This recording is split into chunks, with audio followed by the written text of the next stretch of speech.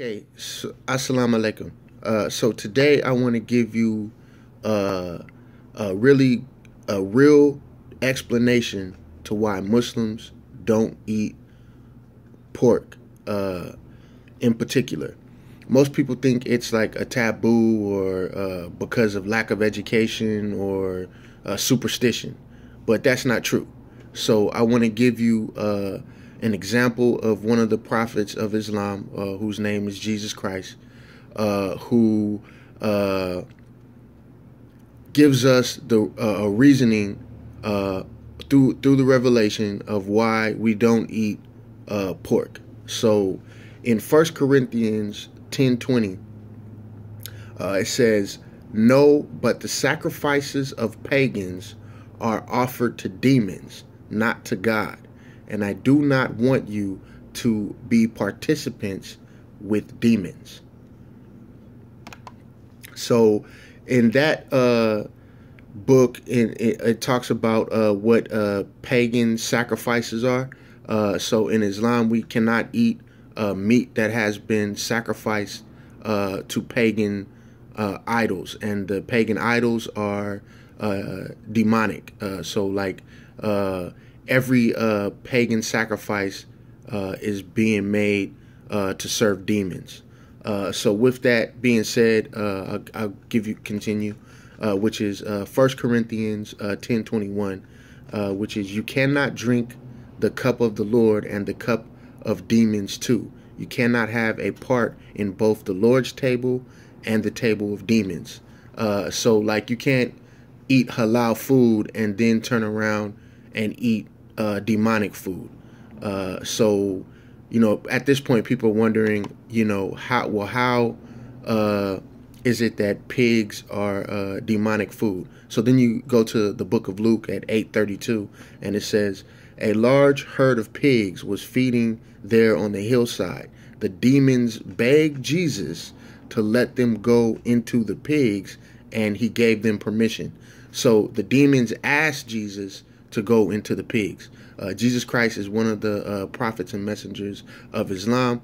Uh, and as a result, Jesus Christ said, uh, you can go into the pigs. So, so with that being said, uh, when you put a pig on your table uh, to eat, you're actually eating demonic or like meat that is possessed by demons. And this is the reality that Jesus created uh, with the rest of the world. So uh, then I want to go to uh, Mark three twenty two uh, because this was you know this caused a great uh, stir, a great debate, and people wanted to know uh, how he could do this. so they said.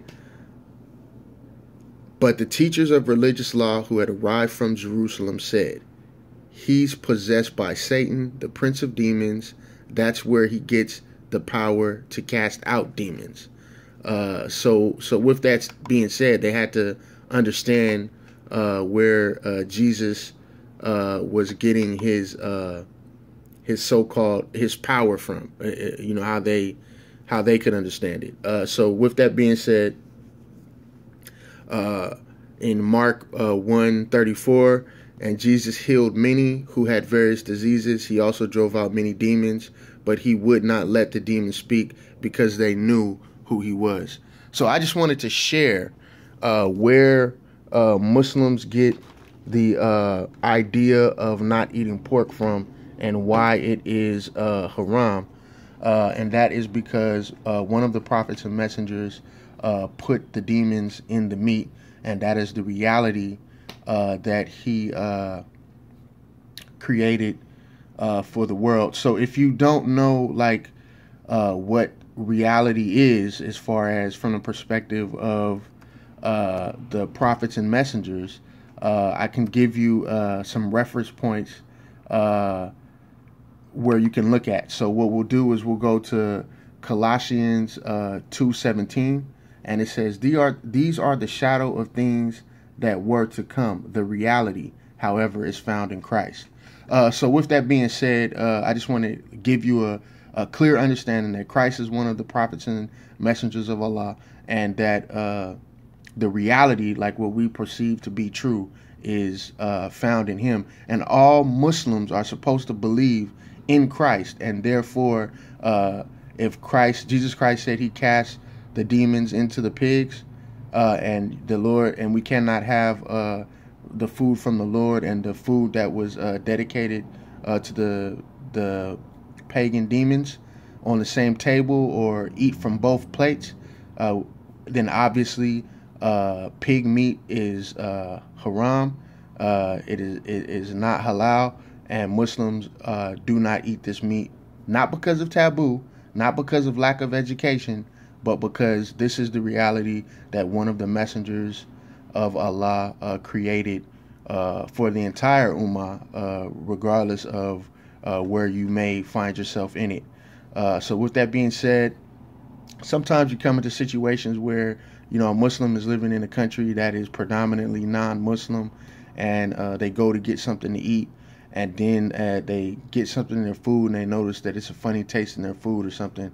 And because Muslims don't eat pork, uh, nine times out of ten, a Muslim won't even know uh, if it's uh, pork or not. so I just want to say that it's not actually cool to mix. Like if you know somebody's a Muslim to like taint their food with pork because what you are doing is you are acting like a Dajjal or an Antichrist and denying uh, the message of one of the uh, prophets of Christ, which kind of makes you uh, uh, like a Dajjal or Antichrist, you know, all that denying the Father and the Son type thing. So, with that being said, you know, it's not cool. It's not because Muslims are ignorant. It's not because Muslims don't have a, a clear concise idea of what they're doing. It's just that because one of the prophets and messengers of Allah said that uh, demons are in the port, uh, this is why Muslims do not eat uh, pork meat, swine, or however you want to say it. Uh, with that being said, assalamu alaikum.